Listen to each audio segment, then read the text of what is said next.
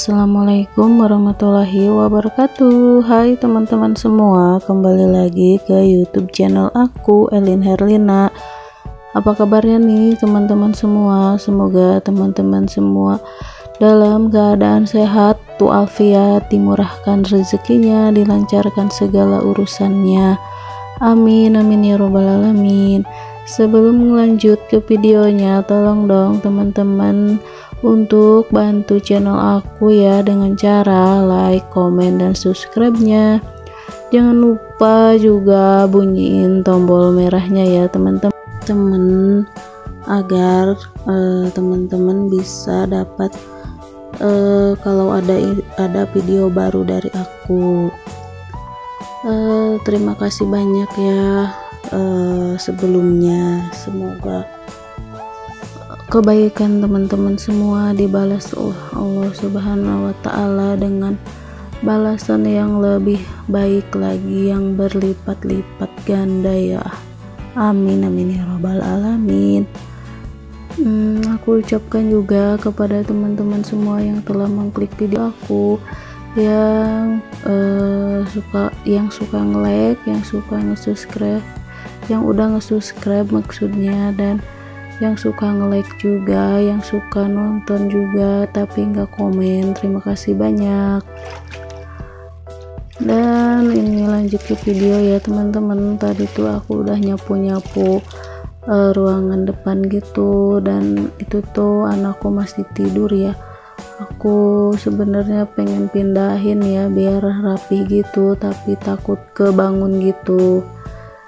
Hmm, kalau kebangun tuh jadi kerjaan tuh uh, suka lama gitu ya uh, beresnya.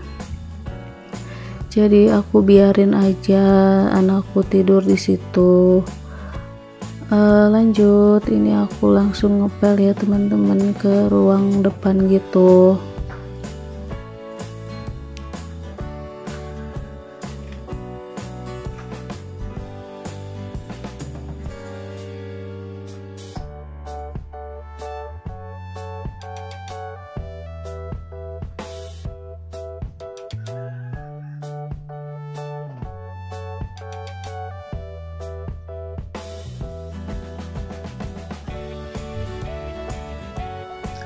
lanjut ini aku ngepel ke ruangan TV gitu ya teman-teman.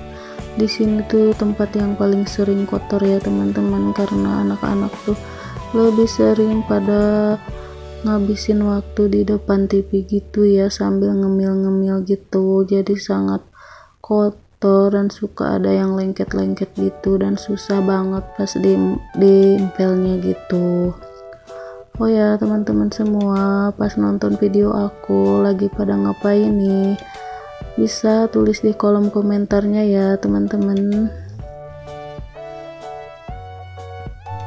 Dan alhamdulillah ya beberesku udah beres gitu udah rapih ya. Walaupun kasurnya belum rapih gitu karena masih ada anak aku. Tapi nggak apa-apa ya teman-teman. Karena kasihan banget kalau dibangunin Oke lanjut ke video selanjutnya. Aku tuh mau cuci piring ya. Tapi alhamdulillah cucianku sedikit karena semalam tuh aku udah cuci piring gitu. Sebelum mencuci piring aku tuh mau bersihin ini ya peniris piring aku yang udah kotor gitu. Malum ya teman-teman dapur aku tuh belum ada pelaponnya jadi suka banyak sekali debu debu berjatuhan gitu apalagi belakang rumah aku tuh adalah uh, kebun pohon bambu gitu ya. Kadang suka banyak daun bambu berterbangan masuk ke dalam rumah gitu. Dan ini sangat kotor sekali ya teman-teman. Aku tuh udah seminggu enggak cuci gitu.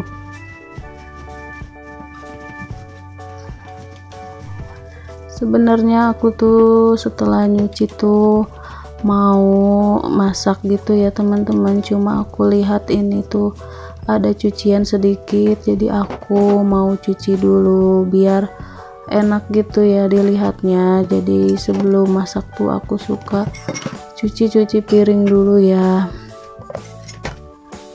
Oke dan ini cucianku bekas gelas gitu ya teman-teman. Karena bekas semalam minum gitu dan ada piring cuma satu gitu.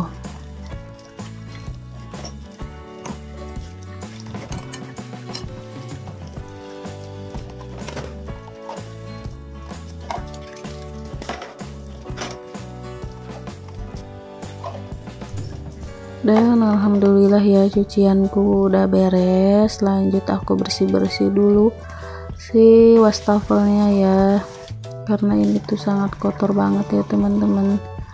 Wastafel aku tuh sering banget kotor ya teman-teman. Kadang kalau lagi bersih juga uh, banyak sekali debu gitu. Dan ini juga aku sekalian mau ber bersihin kompor aku ya teman-teman. Ini tuh bekas semalam aku belum bersihin gitu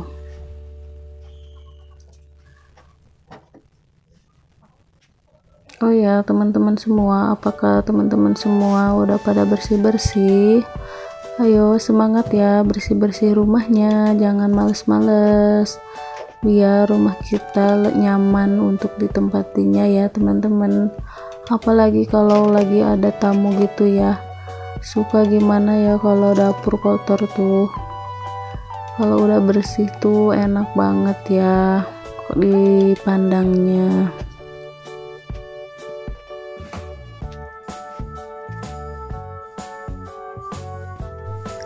Oke, ini alhamdulillah ya dapurku udah rapi ya. Aku videoin atasnya aja ya teman-teman karena bawah tuh emang kotor gitu. Uh, karena belum di keramik gitu. Lanjut nih aku mau masak sambal kentang ati ampela gitu. Siapa nih yang suka?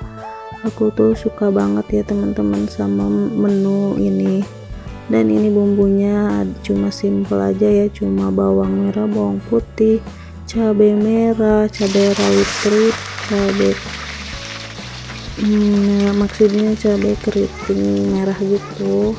Ada kemiri tomat dan ladaku dan masako dan ini kentangnya aku mau goreng dulu ya teman-teman. Setelah ini tuh dan ini alhamdulillah udah hmm, matang gitu ya.